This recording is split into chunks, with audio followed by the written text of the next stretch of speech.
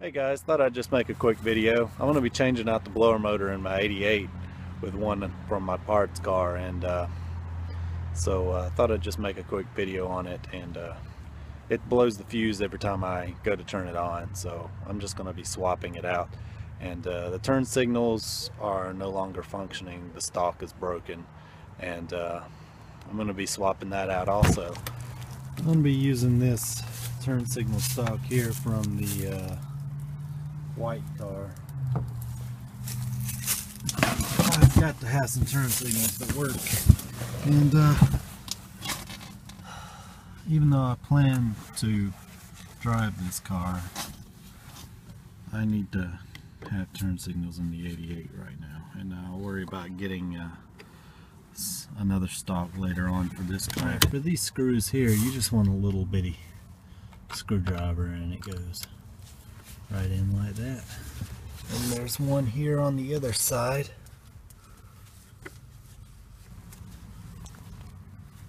And once you get that screw out, and this just comes right out, just like that. So after you remove the screws here, you can just lift this cover up here and pull it out. Alright, so here it is removed.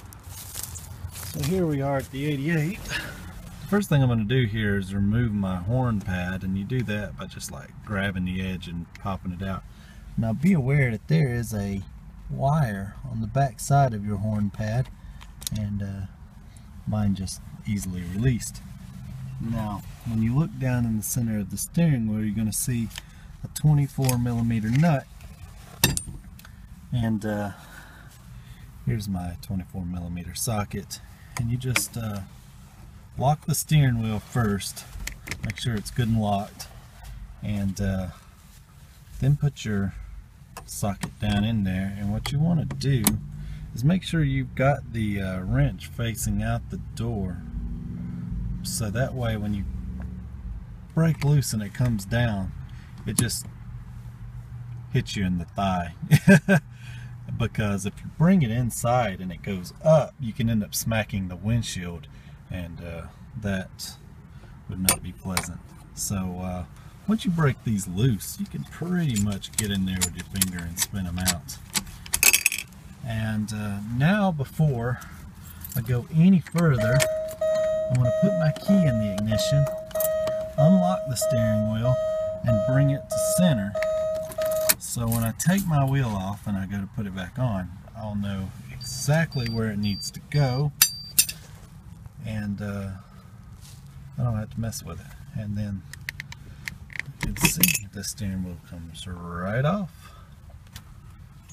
And there you can see the three screws I need to remove. And here's the cruise control stalk. Now I'll be putting this stalk on the new components here and uh, I'll show you how that's done. So I was getting ready to remove this uh, cover here in my 88 and I try and keep everything pretty nice in this car and whenever I see something isn't right or it's broken I always try and replace it and this is exactly why I keep parts cars around. I uh, found that there's no screw in this because the upper part of this uh, cover here is broken so uh, I'll be putting a new one of those in as well. Okay, so I have the three screws out there. I'm going to pull up on this upper cover here and uh, just be gentle with these things because they are pretty delicate, especially as old as they are. They're, they're uh, they don't like to be pulled on and tugged on so much at 30 years of age. So uh, sometimes you just have to uh, take your time with it. So here they are side by side. This one's the one out of the 88. And this is the one out of the parts car. Well, I got a few seconds. I think I'll pull this upper cover out here. And uh, that was just the dash cover popping. And uh, I'll take it over here to the 88 and uh, go ahead and put it in. I don't know.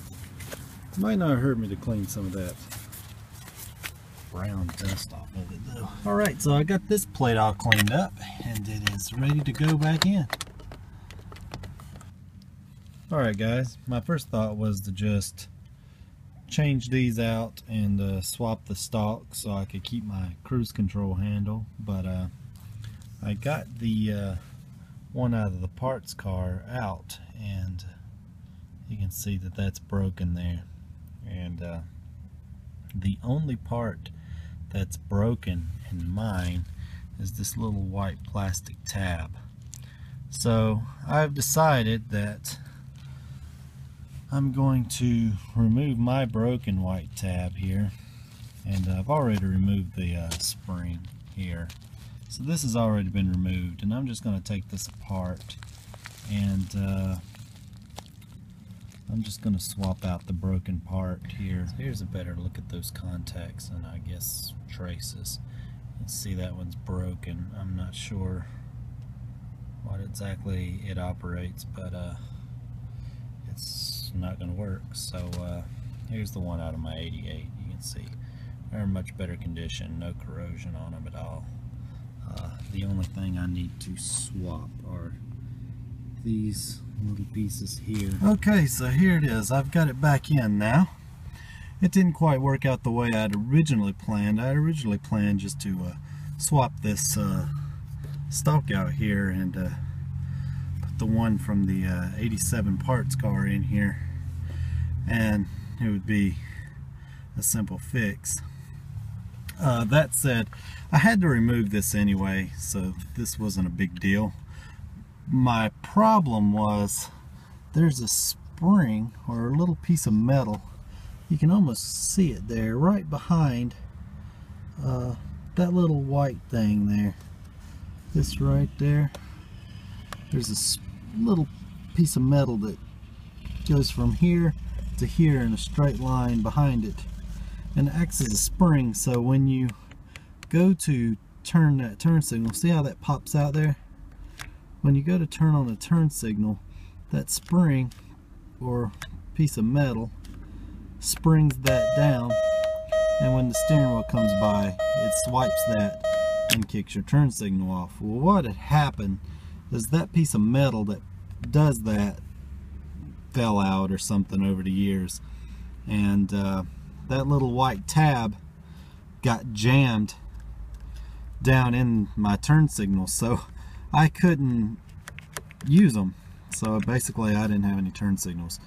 And uh, so what I did was just take the good parts from the 87 parts car since the uh, I don't know what those are called I'm gonna call them uh, you know the uh, traces or whatever since they were broken. I just used the good parts from the 87 parts car and now my turn signals should not only work but they should now return whenever I uh, turn the steering wheel. So I'll get the wheel on here and then we'll move on to replacing the blower motor. Alright guys, so I got the steering wheel in here. And I also wanted to show you where I replaced the upper plate there so I could put the screw back in there.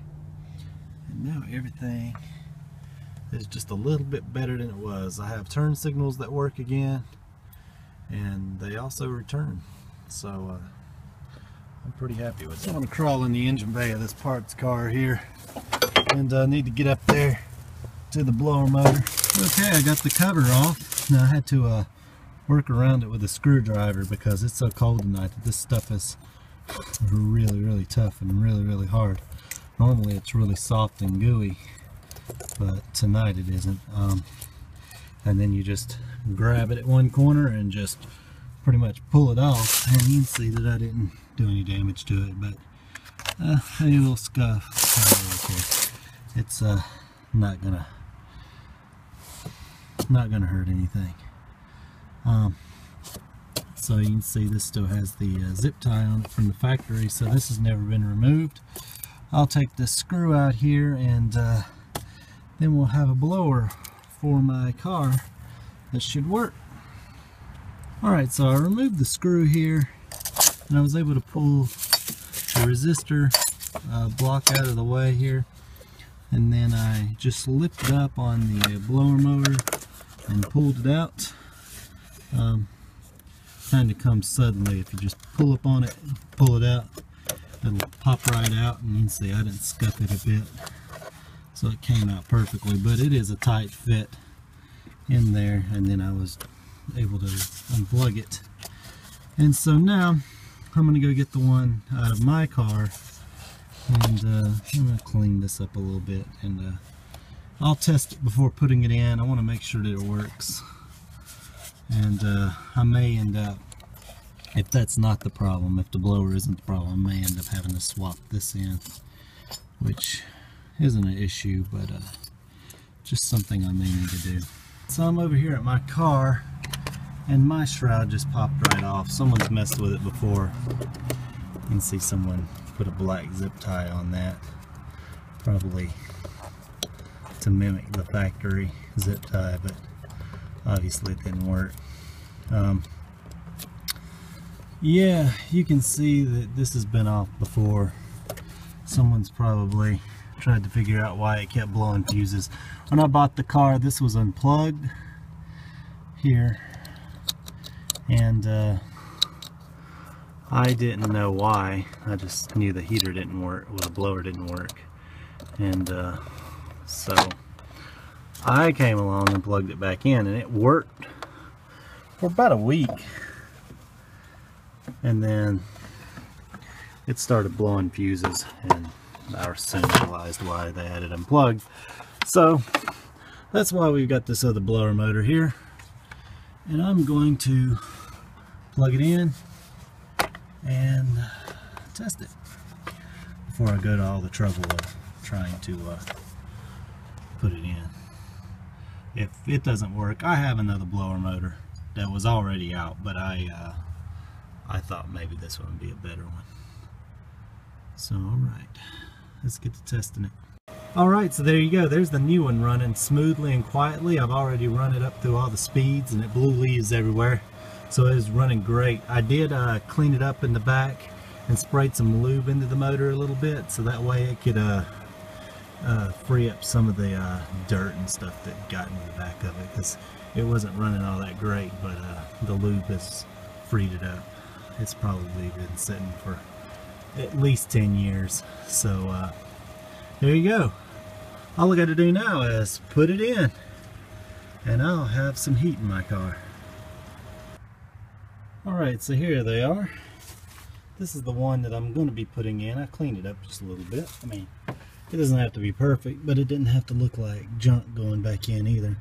I want it to look pretty nice. And like I said, there's a little bit of corrosion on this motor, but uh, some sprays of some lube and uh, it came right out and uh, it's running perfect now.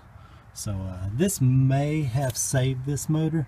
There may have just been some corrosion in there but uh, after it's blown like three fuses on me I'm I'm not really to, looking to fix it. I'm looking to just replace it and uh, if I can fix it then I'll go down that path but that's not where I want to go right now. Right now since it's winter time I need something that I know will work or have a better chance of working so I'm just going to go with a replacement. And uh, I'm getting ready to pop it in there and uh, put the little shroud back on.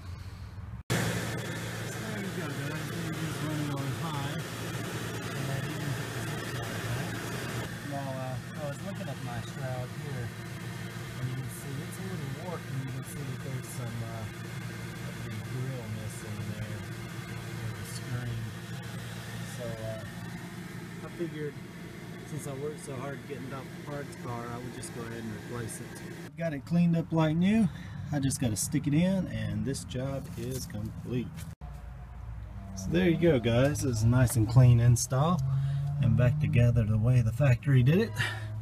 And now I have some heat tomorrow morning. So uh, thanks for watching guys and until next time.